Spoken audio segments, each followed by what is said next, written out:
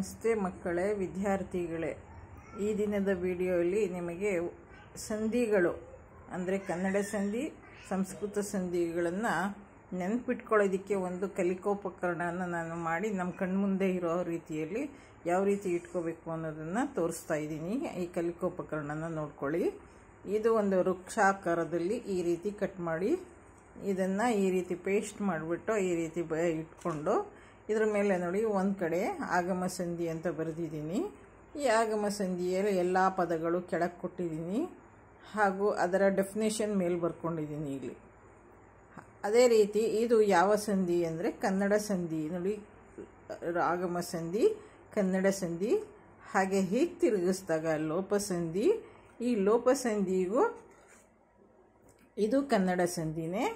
ಇವು, ಇದು ವೃಕ್ಷ, ಈ ಒಂದು ವೃಕ್ಷ ಅಂದರೆ ಈ ಒಂದು ಮರದಲ್ಲಿ ನಾನು ಬರೀ ಕನ್ನಡ ಸಂಧಿಗಳ ಒಂದು ಪರಿಚಯವನ್ನು ಮಾಡಿಕೊಂಡು ನನ್ನ ಕಣ್ಮುಂದೆ ಇಟ್ಕೊಳ್ಳೋದಕ್ಕೆ ಈ ವೃಕ್ಷವನ್ನು ತಯಾರಿಸಿ ನನ್ನ ಮುಂದೆ ಇಟ್ಕೊಂಡು ಈ ರೀತಿ ನನ್ನ ಪ್ರತಿನಿಧಿ ನಾನು ನನಗೆ ಪ್ರತಿದಿನ ಯಾವ ರೀತಿ ಯಾವ ಸಂಧಿ ಯಾವುದಕ್ಕೆ ಯಾವ ರೀತಿ ನಾವು ಗುರುತಿಸ್ಕೋಬೋದು ಅನ್ನೋದನ್ನು ಮರೀದಂಗೆ ನೋಡ್ತಾ ಇದ್ದರೆ ನೆನಪಿರುತ್ತೆ ಅನ್ನೋ ಒಂದು ಉದ್ದೇಶದಿಂದ ಈ ರೀತಿ ಒಂದು ನಾನು ಮಾಡಿದ್ದೀನಿ.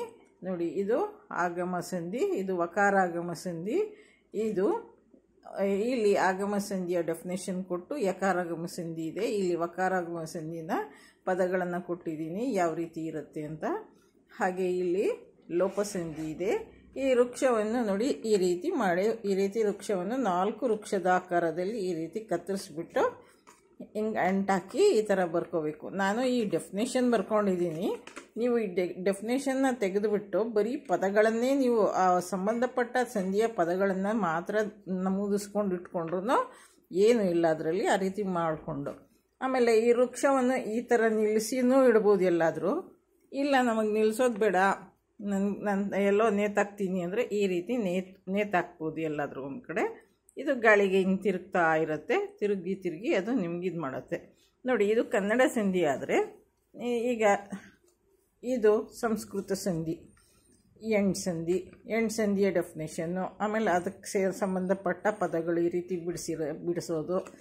ಇದು ಸವರ್ಣ ದೀರ್ಘ ಸಂಧಿ, ಇದು ವೃದ್ಧಿ ಸಂಧಿ, ಇದು ಗುಣಸಂಧಿ ಈಗ ಇದನ್ನು ಈ ರೀತಿ ನಿಲ್ಲಿಸ್ಬೋದು ಇಲ್ಲ ಅಂದರೆ ಇಲ್ಲಿ ಇಲ್ಲಿ ಒಂದು ದಾರ ಹಾಕ್ಬಿಟ್ಟು ದಾರನೋ ಚೈನೋ ಏನೋ ಹಾಕ್ಬಿಟ್ಟು ಈಗ ತೋರಿಸಿದ್ನಲ್ಲ ಆ ರೀತಿ ನೇತು ಹಾಕ್ಬಿಟ್ರೆ ಗಾಳಿಗೆ ಸುತ್ತ ಹಾಕ್ಕೊಂಡಿರ್ತದೆ ಅದು.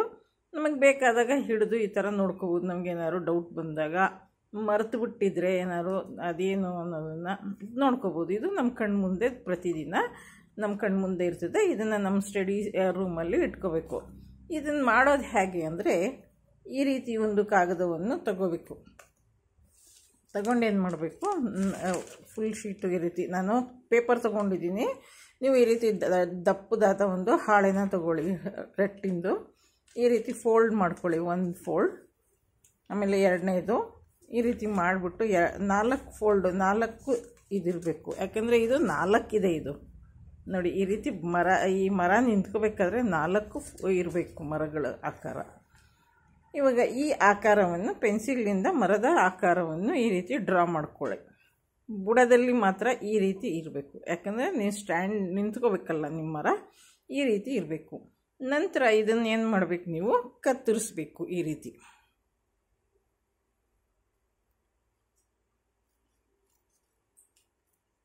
ನೋಡಿ ಈ ರೀತಿ ಕತ್ತರಿಸ್ಬೇಕು. ಈ ಆಕಾರ ಬರ್ಕೊಂಡಿರ್ತೀರಲ್ಲ, ಈ ರೀತಿ ಕತ್ತರಿಸ್ಬಿಟ್ಟು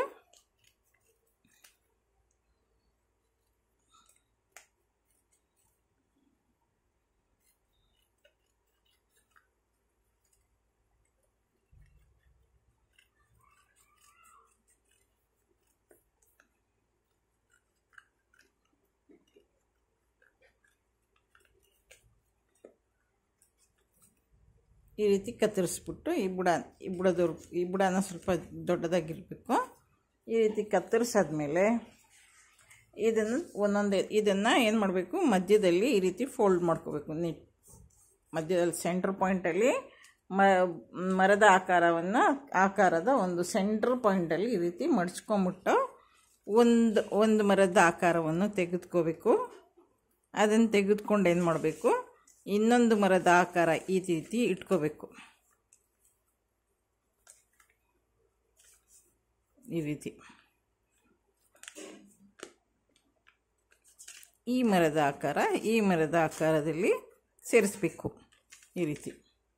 ಇದಕ್ಕೆ ಇಲ್ಲಿ ಇಲ್ಲಿದೆಯಲ್ಲ ಈ ಎಡ್ಜಲ್ಲಿ ಈ ಎಡ್ಜಲ್ಲಿ ಸೇರಿಸ್ಬಿಟ್ಟು ಎರಡು ಆಕಾರವನ್ನು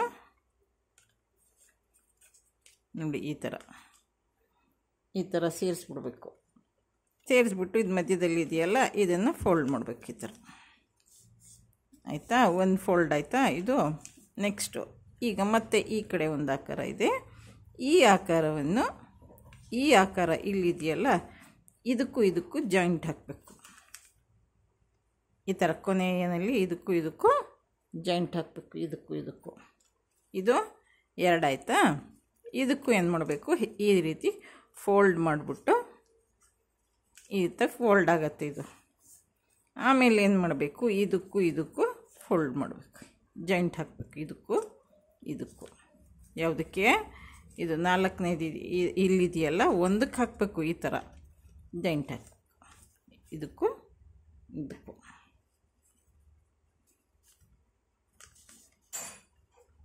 ಆಮೇಲೆ ಏನು ಮಾಡಬೇಕು? ಇದನ್ನು ಇದೆಯಲ್ಲ? ಇದಕ್ಕೂ ಇದಕ್ಕೂ ಜಂಟ್ ಹಾಕಬೇಕು. ಈ ರೀತಿ. ಇವಾಗ ಎಲ್ಲವನ್ನು ಈ ರೀತಿ ಫೋಲ್ಡ್ ಮಾಡ್ತಬೇಕು. ಮಧ್ಯದಲ್ಲಿ ಸೆಂಟ್ರಲ್ಲಿ ಈ ರೀತಿ ಫೋಲ್ಡ್ ಹಾಕಬೇಕು.